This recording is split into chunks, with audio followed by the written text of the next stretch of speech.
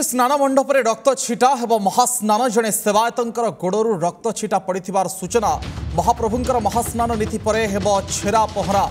ବଡ଼ ଖବର ବର୍ତ୍ତମାନ ସମୟରେ ସ୍ନାନ ମଣ୍ଡପରେ ରକ୍ତ ଛିଟା ଜଣେ ସେବାୟତଙ୍କ ଗୋଡ଼ରୁ ରକ୍ତ ଛିଟା ପଡ଼ିଥିବାର ସୂଚନା ରହିଛି ପ୍ରଥମେ ମହାସ୍ନାନ ହେବ ମହାପ୍ରଭୁଙ୍କର ମହାସ୍ନାନ ନୀତି ପରେ ଛେରା ପହଁରା ନୀତି ଅନୁଷ୍ଠିତ ହେବ ଏ ବଡ଼ ଖବର ପୁରୀ ଶ୍ରୀକ୍ଷେତ୍ରରୁ ଆସୁଛି ସ୍ନାନ ମଣ୍ଡପରେ ରକ୍ତ ଛିଟା ମହାପ୍ରଭୁଙ୍କର ହେବ ମହାସ୍ନାନ ଶ୍ରୀଜୀଉମାନଙ୍କୁ ପ୍ରଥମେ ମହାସ୍ନାନ କରାଯିବ ତାପରେ ଛେରା ପହଁରା ନୀତି ଅନୁଷ୍ଠିତ ହେବ ମହାପ୍ରଭୁଙ୍କର ମହାସ୍ନାନ ନୀତି ପରେ ଛେରା ପହଁରା ହେବ ଏବଂ ଇଏ ଏକ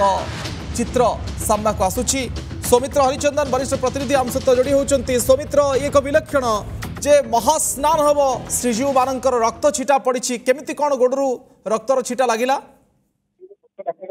ଦେଖନ୍ତୁ ଅବିନାଶ ମୁଁ କହିଦେବାକୁ ଚାହେଁ ଇଏ ଗୋଟେ ବିଲକ୍ଷଣ ବୋଲି ଆମେ ବିବେଚନା କରିବା ଠିକ ହେବ ନାହିଁ ମହାପ୍ରଭୁଙ୍କର ଦୈନନ୍ଦିନ ନୀତିକାନ୍ତିରେ ବି ଅନେକ ବାର ଆମେ ଦେଖିଛୁ ଯେ ମହାସ୍ନାନ ମଧ୍ୟ ଅନୁଷ୍ଠିତ ହୋଇଥାଏ ଏ ଗୋଟେ ଦୁର୍ଘଟଣା ବୋଲି ଆମେ ବିବେଚନା କରିପାରିବା କାରଣ ମହାପ୍ରଭୁଙ୍କର ଯୋଉ ନୀତିକାନ୍ତି ରହିଅଛି ସେ ନୀତିକାନ୍ତି ମଧ୍ୟରେ ଯଦି ଗର୍ଭଗୃହ ବା ନିକଟରେ ମହାପ୍ରଭୁଙ୍କର ଯୋଉ ମଣ୍ଡପ ରହିଅଛି ଯେମିତିକି ଆଜି ଏଇ ସ୍ଥାନ ମଣ୍ଡପରେ ମହାପ୍ରଭୁ ବିଜେ କରିଛନ୍ତି ମହାପ୍ରଭୁଙ୍କ ଜଳ ଲାଗି ଅନୁଷ୍ଠିତ ହୋଇଥିଲା ପ୍ରତ୍ୟକ୍ଷ ସ୍ନାନ ମଧ୍ୟ କରିଥିଲେ ପ୍ରତ୍ୟକ୍ଷ ସ୍ନାନ କରିସାରିବା ପରେ ଦେଖିବାକୁ ମିଳିଥିଲା ଯେ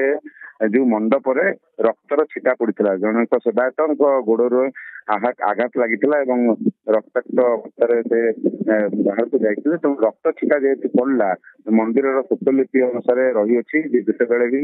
ଗର୍ଭଗୃହରେ ରକ୍ତ ଛିଟା ପଡିଥାଏ ସେତେବେଳେ ମହାସ୍ନାନ ଅନୁଷ୍ଠିତ ହୋଇଥାଏ ମହାପ୍ରଭୁଙ୍କର ଏଇ ଯୋଉ ନୀତିକାନ୍ତି ଗୋଟେ ବିଶେଷ ନୀତିକାନ୍ତି ବୋଲି ଆମେ ବିବେଚନା କରିପାରିବା ସ୍ୱତନ୍ତ୍ର ନୀତିକାନ୍ତି ବୋଲି କୁହାଯାଇଥାଏ କାରଣ ମହାପ୍ରଭୁ ହେଉଛନ୍ତି କୋଟି କୋଟି ହିନ୍ଦୁ ମାନଙ୍କର ଆରାଧ୍ୟ ଦେବତା ତେଣୁ ହିନ୍ଦୁ ଦେବାଦେବୀ ମନ୍ଦିର ମାନଙ୍କରେ ସ୍ୱତଲିପି ଏବଂ ମହାପ୍ରଭୁଙ୍କର ଯୋଉ ନୀତିକାନ୍ତି ରହିଅଛି ସେଇ ଅନୁସାରେ ସମସ୍ତ କାର୍ଯ୍ୟ କରାଯାଇଥାଏ ଯଦିଓ ଆଜି ଗୋଟେ ବିଶେଷ ଦିବସ ସ୍ନାନ ଦିବସ ତେଣୁ ଏହି ଦିବସରେ ସମସ୍ତ ନୀତିକାନ୍ତି କିଭଳି ଶୀଘ୍ର କରାଯିବ ଏବଂ ସରଳ କରାଯିବ ଏବଂ ଯୋଉ ନୀତିକାନ୍ତି ବା ନୀତି କରାଯାଇଥିଲା ତାହା ଠିକଣା ସମୟରେ କରାଯିବ ବୋଲି ଲକ୍ଷ୍ୟ ରଖାଯାଇଥିଲା କିନ୍ତୁ ଏହି ଦୁର୍ଘଟଣା ଯୋଉ ଘଟିଲା ଯୋଉଥିରେ କି ରକ୍ତ ଛିଟା ପଡିଲା ତେଣୁ ମହାସ୍ନାନ ନୀତି ଅନୁଷ୍ଠିତ ବର୍ତ୍ତମାନ କରାଯାଉଅଛି ପାଖାପାଖି ଚାଳିଶ ମିନିଟରୁ ଏକ ଘଣ୍ଟା ଧରି ଏହି ନୀତି କରାଯିବ ଏବଂ ମହାସ୍ନାନ ନୀତି ପରେ ଯାହା ପରବର୍ତ୍ତୀ ନୀତି ରହିଅଛି ଯେମିତିକି ଗଜପତି ମହାରାଜ ଛେରା ନୀତି ରହିଅଛି ସେ ଆପଣମାନେ ଏମିତି କରିବେ ଏବଂ ତା ପରବର୍ତ୍ତୀ ସମୟରେ ମହାପ୍ରଭୁଙ୍କର ହାତୀ ବେଶ ଅନୁଷ୍ଠିତ ହେବ କିନ୍ତୁ ବର୍ତ୍ତମାନ ଆମେ ଯୋଉ ଭଳିଆରେ ଆଜି ଦିନ ତମାମ ଦେଖିଛୁ ଯଦିଓ ପହଣ୍ଡି ନୀତିରେ ପାଖାପାଖି ତିରିଶ ମିନିଟ୍ ବିଳମ୍ବ ଘଟିଥିଲା କିନ୍ତୁ ପରବର୍ତ୍ତୀ ସମୟରେ ଯୋଉଭଳି ଭାବରେ ଅନୁମାନ କରାଯାଉଥିଲା ସେବାୟତ ମାନେ ଯୋଉଭଳି ନୀତିକାନ୍ତି ଗୁଡିକ କରୁଥିଲେ ସମସ୍ତ ନୀତିକାନ୍ତି ଗୁଡିକ ସୁଚାରୁ ରୂପେ କରାଯାଇଥିଲା ଏବଂ ଏବଂ ଯାହା ମନ୍ଦିର ପ୍ରଶାସନ ପକ୍ଷରୁ ଏବଂ ସେବାୟତମାନଙ୍କ ପକ୍ଷରୁ କୁହାଯାଉଥିଲା ଯେ ପାଖାପାଖି ରାତି ଦଶଟାରେ ଯୋଉ ସମୟ ରହିଥିଲା ବାହୁଡା ପହଣ୍ଡି କରିବା ପାଇଁ ସେଇ ସମୟରେ ପହଣ୍ଡି ଅନୁଷ୍ଠିତ ହୋଇଥାନ୍ତା କିନ୍ତୁ ଯେହେତୁ ବର୍ତ୍ତମାନ ମହାସ୍ନାନ ଅନୁଷ୍ଠିତ ହେଉଅଛି ତେଣୁ ମନ୍ଦିର ପ୍ରଶାସନ ପକ୍ଷରୁ ତଥା ସେବାୟତମାନେ ନିଷ୍ପତ୍ତି ନେଇଛନ୍ତି ଯେ ରାତି ସାଢେ ଏଗାରଟା ପର୍ଯ୍ୟନ୍ତ ହାତୀ ବେଶ ରହିବ ଭକ୍ତ ଶ୍ରଦ୍ଧାଳୁମାନେ ଯେଉଁମାନେ ଆସୁଛନ୍ତି ରାତି ଏଗାରଟା ପର୍ଯ୍ୟନ୍ତ ମହାପ୍ରଭୁଙ୍କୁ ଏହି ହାତୀ ବେଶର ଦର୍ଶନ କରିପାରିବେ ହାତୀ ବେଶ ଓଲାଗି ହେବା ପରେ ପରବର୍ତ୍ତୀ ଭାବରେ ଯୋଉ ନୀତି ରହିଅଛି ପହଣ୍ଡି ନୀତି ବାହୁଡା ପହଣ୍ଡି ନୀତି ହେଉଛି ଅନସରକୁ ଘରକୁ ଯିବେ ସେ ପହଣ୍ଡି ନୀତି ଅନୁଷ୍ଠିତ ହେବ ତେଣୁ ଦିନ ରାତି ଦଶଟାରେ ଯୋଉ ସମୟ ରହିଥିଲା ତାହାକୁ ଆଉ ଏକ ଘଣ୍ଟା ପରିବର୍ତ୍ତିତ କରାଯାଇଛି ବୋଲି ଆମେ ସୂଚନା ଦେଇପାରିବା ଏବେ ସୌମିତ୍ର ଦେଖିବା କେତେ ସମୟ ମହାସ୍ନାନ